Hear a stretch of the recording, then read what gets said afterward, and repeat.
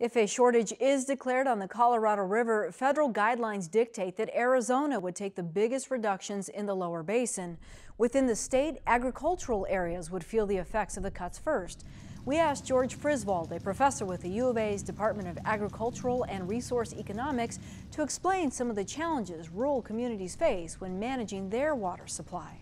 Growers are going to have to either choose, either they fallow their land, you know, so they produce less, or they switch back to pumping groundwater, which they have a right to do. And they've actually been banking a lot of their, their water because they've been using surface water instead. But that said, because growers have shifted to renewable surface water, if they go back to pumping, a lot of them haven't been you know, renovating and investing in new capital equipment to pump groundwater. So they'd have to incur all the cost of doing that, or they just might not grow as many crops. People in Phoenix, people in Tucson, when you go to the grocery store, you may not notice that all that much.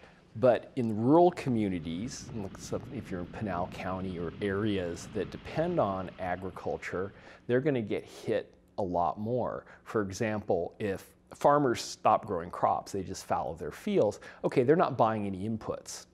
So anybody who sells inputs to agriculture, suddenly they don't have you know, income.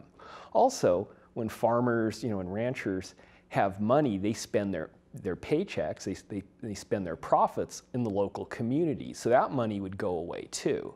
So I think people aren't really necessarily going to notice it too much when they go to the checkout counter.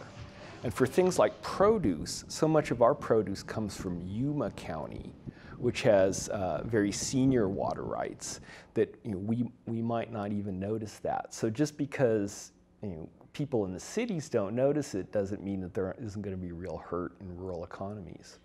This is a $23 billion agribusiness industry mm. in the state of Arizona. It ultimately affects the pocketbooks, though, of the average consumer, correct? So it's going to be through production and jobs. Like I said, I don't think people are going to go and look at their grocery bill and go, wow, um, you know, everything's a lot more expensive now because of this this cutoff. And I think that's what makes you know agriculture vulnerable is because people take it for granted.